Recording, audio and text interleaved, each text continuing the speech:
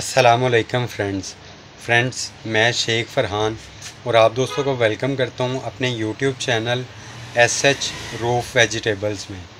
Friends आज मैं जो है एक समझ लें सोसाइटी है हमारे करीब अलजलील गार्डन वहाँ पे किसी दोस्त से मिलने गया हुआ था तो वहाँ के पार्क में जो है वो विज़िट करने का जो है मुझे इतफ़ाक़ हुआ। तो उस पार्क की खूबसूरती इतनी ज़बरदस्त थी कि मुझे दिल किया कि मैं उसको लाजमी तौर पे आप दोस्तों के साथ जो है वो शेयर करूँ, ताकि इसकी खूबसूरती देख के जो है वो लोग बता सकें कि वाकई लाहौर के अंदर इस तरह की खूबसूरत ग्रीन जगह भी मौजूद हैं और कोई एक सोसाइटी जो है वो कितना खूबसूरत पार्क बना सकती है। तो मैंने उसकी छोटे छोटे क्लिप्स जो है रिकॉर्ड किए ऐदा भी लोग, और उनको इकट्ठा जोड़ के आप दोस्तों के सामने पेश किया।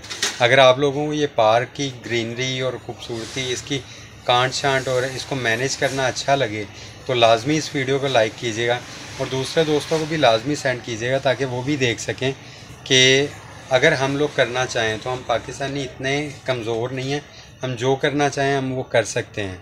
तो खैर फ्रेंड्स अगर आप दोस्तों को इस तरह के छोटे छोटे व्लॉग्स जो है वो अच्छे लगते हैं तो आप लाजमी तौर पे कमेंट्स में बताइएगा मुझे अगर आप लोग कमेंट्स में मुझे कहेंगे तो मैं दोबारा इसी किस्म की किसी भी जगह में जाऊँगा तो लाजमी तौर पे उसकी व्लॉगिंग करके, उसको जो है कैप्चर करके आप दोस्तों के साथ लाजमी शेयर करूँगा, ताकि आप लोग भी देख सको कि पाकिस्तान जो है वो इतना बुरा या इतना गंदा नहीं है, जितना कि हम लोगों को दिखाया जाता है या हमारे सामने नज़र आता है।